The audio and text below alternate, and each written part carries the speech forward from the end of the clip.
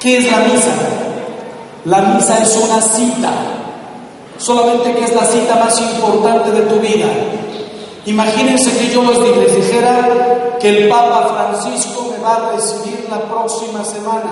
Ustedes me dirían, ¿qué le va a dar? ¿Qué le va a pedir? ¿Qué le va a encargar? ¿Lo va a llamar a trabajar en el Vaticano? Y si yo fuera un empresario y les dijera, la próxima semana me reciben en Nueva York el presidente de empresarios de Canadá, de Nueva York y de Colombia, nos vamos a juntar ahí los cuatro. Ustedes dirían, padre, digo, licenciado, ya la hizo, ya sacó trabajo para toda su vida. Pues ¿saben qué? Ni tengo cita con empresarios ni me va a recibir el Papa.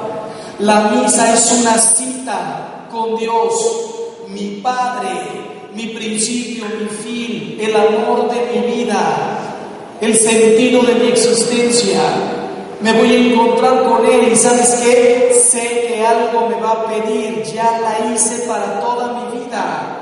Cada misa Dios me pide algo, pero depende de que la vivas como una cita. Funciona como todas las citas del mundo. Llegas, y lo primero que haces es revisarte. Antes de entrar, revísate, no vayas a traer una mancha de mermelada en la, en la camisa, los zapatos sucios, las mujeres hasta se arreglan el pelo, qué sé yo. Una vez que viste que estás bien, entras y lo primero que haces es alabar a la persona que te recibió. Gracias, Santo Padre, por recibirme. Qué bien está haciendo usted en el mundo. He leído sus discursos.